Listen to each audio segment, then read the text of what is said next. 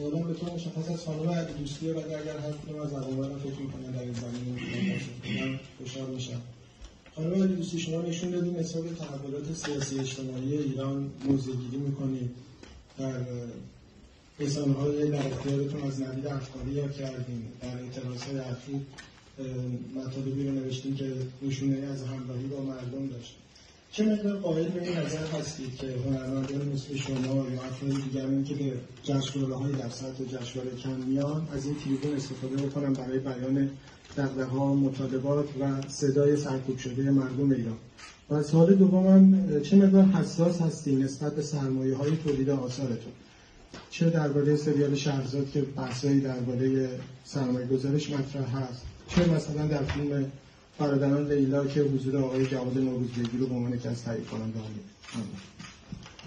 سوال اولتون چی بود اولتون گفتم چه مقدار خودتون قائل می‌دونید که از این تریبون استفاده بکنید. قائل می‌دونم چون همونجوری که خودتون گفتین این اتفاقات دائم برای من میفته یعنی خودم رو در وضعیتی می‌بینم که سکوت نمی‌تونم بکنم و حالا واکنشی میدم. اینکه اون واکنش چقدر مقبول یک جامعه بیفته یا نیفته واقعا بستگی داره. یه روزی ما حرف درست رو می‌زنیم یه روزی ممکنه که اشتباهی تو حرف ما باشه. درست ما هم به هر حال آدم هستیم در همین جامعه زندگی می‌کنیم و حتما کامل نیستیم.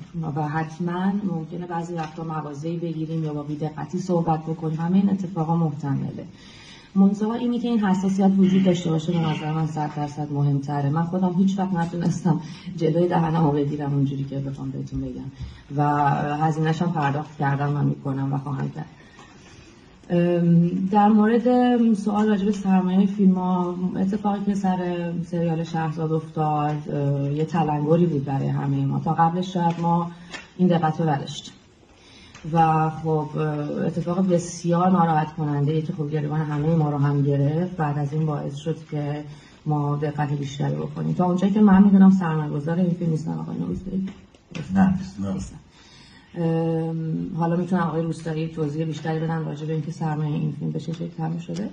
منتها در مورد سریال شهرزادم من باید بگم اینو ممکنه کسی باور نکنه چون الان شش سال گذشته. من آقای امامی رو در پایان فصل یک سریال شهرزاد تازه باش آشنا شدم.